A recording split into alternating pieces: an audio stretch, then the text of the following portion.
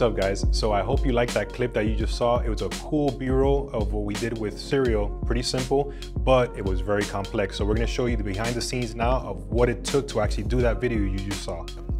All right, so basically, whenever you're doing stuff like this, you never wanna use just one product, you have multiple. So we had a couple bowls, we have the actual cereal boxes, we have a couple of them just in case we mess up with one, we have a second one. Make sure you have your cleaning supplies, everything. So just make sure you have doubles, maybe triples of things because once you open up a package, you're done. What we have right here in the background, because we wanted to mix in the actual yellow from the Reese's Puffs, we use a yellow background. We have a sound blanket over here. We have some soundproofing as far as for our studio, and we got a bunch of lights everywhere. Now, let me just show you the actual lights. We have our overhead lights. We have these two over here that we can actually turn around and move. And the reason we have those up there is for our background, we could play around with my actual hair light, or if there's too much light hitting the background, we could always adjust that. We have one light over here, and this is basically so we could actually not get that burn effect on that side and not get the hot spot in the center. So we actually could move this however we want, that way it's an even lighting. We have our fill light all the way back here, that way it just lights up the entire scene. Still has a diffuser in front of it, but that way if we take it away, it makes a big difference. Once we put it back in there, it literally lights up those little dark areas that you don't wanna have.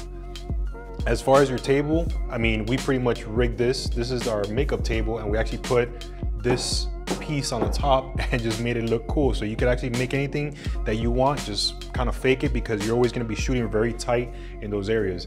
Now again, you see the entire background, but when we're actually shooting, we're sh shooting so tight that you can't even see it. So never worry about your surroundings and make everything perfect because you're always gonna be cutting in tight. So you didn't see all these lights that we had there in that video, but now when you actually pan out and you actually see it, you're gonna see everything that we have in this location.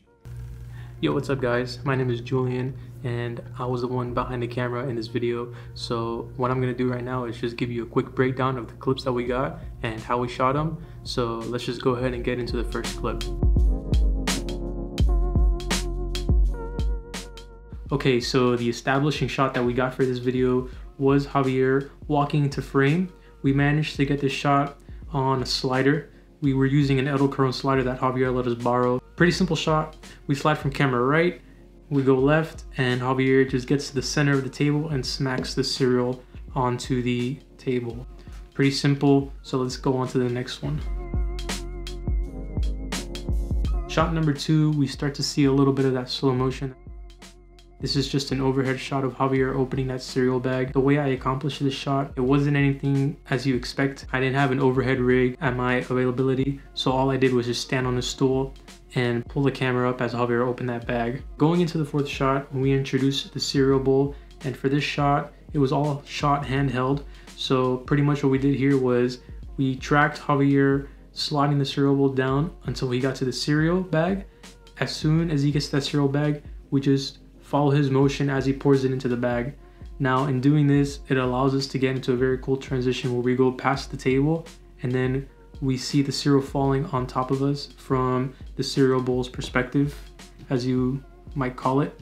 And this shot was really accomplished by just placing the GoPro inside of the cereal bowl and letting that cereal fall on top of it. So for the next following shots of the introduction of the milk, for the first shot, Javier slid that milk into place and we didn't have to rack focus anything. All we did here was just set our focus point to the spot where Javier was going to extend that milk and then that's how we got that shot. The next shot of Javier opening that bottle cap, again, we just tracked that motion of his hand opening the cap and then we go into the milk pour.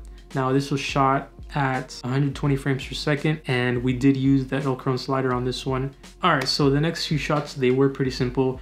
We just had an overhead shot of the milk falling into the cereal and then we had the shot of Javier pulling out the spoon. Now for the final shot, we used the Edelkrone slider again. And what we did here is that we just pulled out of Javier eating that cereal and it just gave it a nice feel. And that was pretty much the end of the sequence.